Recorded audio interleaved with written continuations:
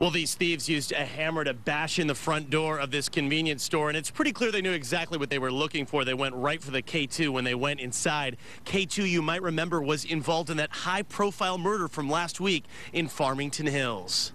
The front door at the Citgo gas station is all boarded up after an early morning break-in. The thief or thieves used a hammer to smash through the glass, and once they were inside, it would appear they knew right where to go. An empty shelf marks the spot where 19 containers of synthetic marijuana were stolen.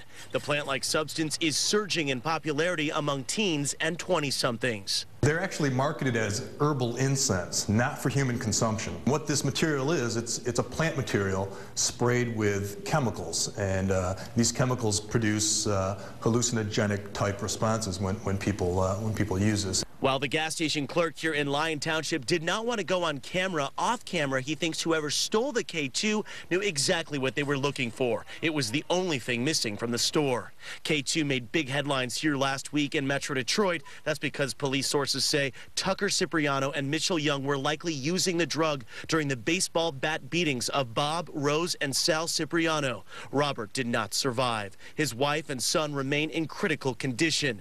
As for K2 or fake marijuana, the DEA says it can be very dangerous. Uh, there's a lot of agitation um, and paranoia and hallucinogenic type effects from people that are using this drug. It doesn't seem to happen to everyone, uh, but certainly it's, it's, been, it's been found in many of the people that use these products. The owner of the gas station says he does have video of the incident. They have surveillance cameras in the store. It's a little hard to see the guy's face. He's wearing a hoodie. Reporting from Lyon Township, I'm Tom Waite, 7 Action News.